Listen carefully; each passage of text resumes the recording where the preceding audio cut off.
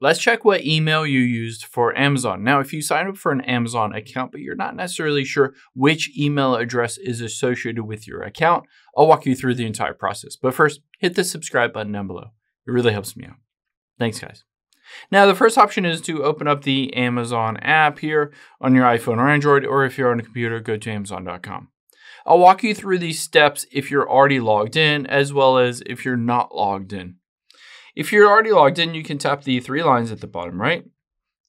And then you can see under shortcuts, you can tap on account here.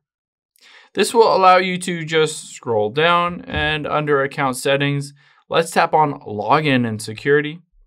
And you might be asked to log in to your account again. And you might even get a one-time password.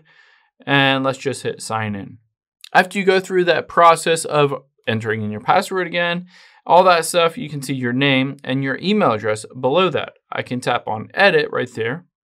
It shows me what my current email address is, and I can always change that to a new one if I wanted to basically manage a new email address on here. Now, let's say you're not already logged in and you're not necessarily sure what that email address is and password to be able to log in. Let's open up a web browser and just go to amazon.com. You can hit sign in at the top right.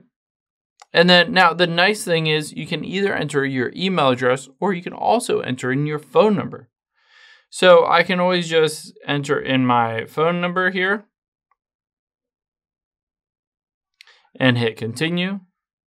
And now let's say I don't know the password, I'm gonna hit forgot password now you'll be able to see all I have to do is hit continue here and it will text me a one-time password to be able to log in basically without needing that email address. So you can see email or mobile phone number.